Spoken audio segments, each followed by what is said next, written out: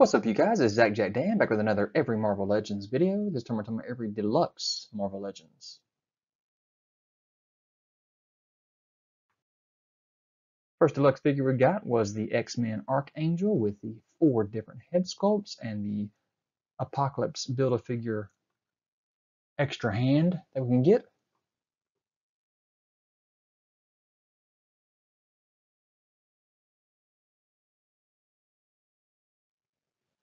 Next we got as a deluxe, we got the Giant Man from Captain America Civil War, and they got him all crunched down in this package. Looks like he's at the airport, and they actually made this one more movie accurate than the actual Build-A-Figure was.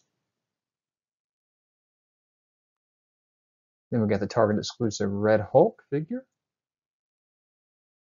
Really impressed by this. It was a nice repaint, and reuse of that mold for the Hulk.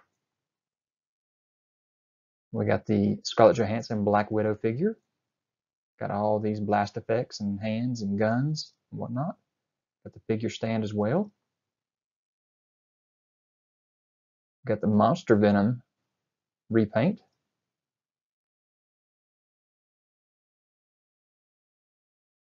Got the GameStop Gamerverse Outback Hulk from the Avengers game. Next, we got the classic War Machine with the Rhodey head there from the 80s.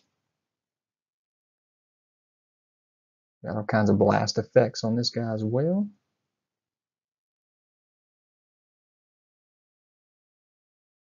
There's the back of the package. And then we got the repaint, re-release of the Age of Apocalypse Apocalypse figure here from the regular Apocalypse Build-A-Figure. Don't mind this repaint at all. Got two head sculpts, one menacing, one smiling. Comes with that extra skull. Then we got the repaint of the Monster Venom Build figure again, this time as Toxin.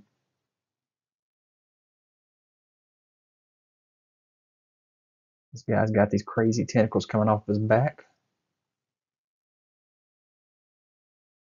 Got the green tongue, nice big head, red going into the black, very nice figure. So there are all of the deluxe figures that came in the deluxe boxes.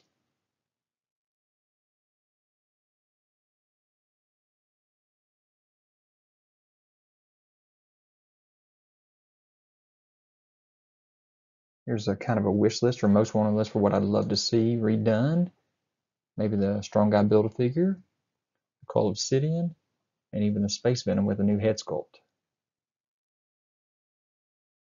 I wouldn't mind those being done as deluxes as well. So these are actually kind of deluxe as well because they were Build-A-Figures and they were repackaged. So this Toys R Us exclusive Evolution of Groot, in my opinion, would consider be, be considered deluxe. As well as the Walmart exclusive Thanos re-release of the Build-A-Figure repainted. The Age of Ultron, Ultron GameStop exclusive re-release for the Marvel first 10 years. The Guardians of the Galaxy Ronan from the first 10 years. The SDCC vintage retro Hulk figure with the pipe. The Gray Hulk on the vintage card.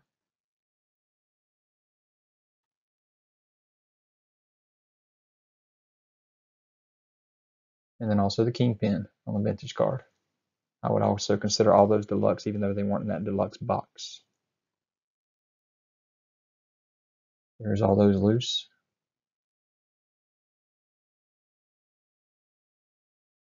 And in package.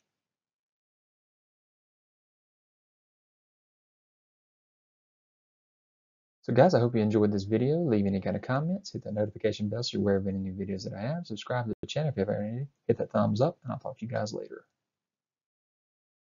Guys, don't forget to check me out on Instagram, Twitter, Pinterest. You can find all the photos that you want of these videos.